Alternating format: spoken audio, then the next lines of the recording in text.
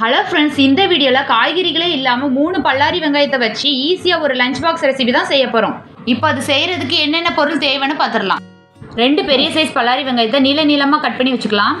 ஒன்றரை கப் வீட்டில் வடித்த சாதம் கால் டீஸ்பூன் காயம் கால் டீஸ்பூன் மஞ்சள் தூள் காரத்திற்கேற்ப மிளகாய்த்தூள் கால் டீஸ்பூன் கரம் மசாலா அரை ஸ்பூன் மிளகுத்தூள் தேவையான அளவு உப்பு ஒரு கொத்து கருவேப்பிலை ஒரு ஸ்பூன் இஞ்சி பூண்டு பேஸ்ட் ஒரு மிளகாய் அரை ஸ்பூன் உளுந்தம்பருப்பு அரை ஸ்பூன் சீரகம் அரை ஸ்பூன் கடலைப்பருப்பு.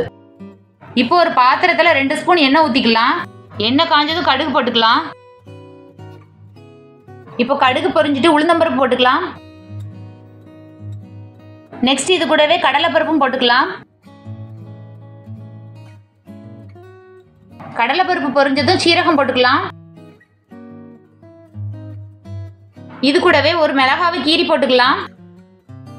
ஃப்ரெண்ட்ஸ் இது கூடவே ஒரு கொத்து கருவேப்பிலை சேர்த்துக்கலாம். இப்போ இது கூடவே சின்ன சின்னதா நறுக்குன பல்லாரி வெங்காயத்தை சேர்த்து மிக்ஸ் பண்ணி விட்டுக்கலாம்.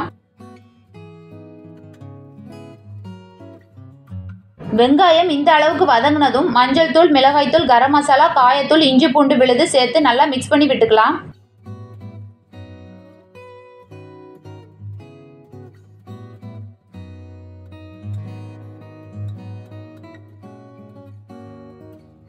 மசாலாவோட பச்சை வாசனை போனதும் சாதம் சேர்த்துக்கலாம். கூடவே தேவையான அளவு உப்பு சேர்த்து மிக்ஸ் பண்ணி விட்டுக்கலாம்.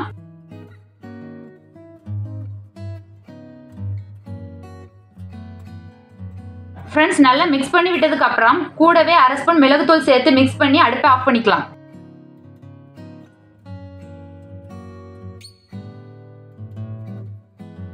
ஃப்ரெண்ட்ஸ் அவ்வளவுதான். நம்மளோட simple lunch box recipe ready ஆயிடுச்சு. இதை கண்டிப்பாக ட்ரை பண்ணிட்டு கமெண்ட் பண்ணுங்கள் ஃப்ரெண்ட்ஸ் இந்த வீடியோ உங்களுக்கு பிடிச்சிருந்துச்சுன்னா லைக் பண்ணுங்கள் ஷேர் பண்ணுங்க. மறந்துடாமல் நம்ம சேனலை சப்ஸ்கிரைப் பண்ணிடுங்க.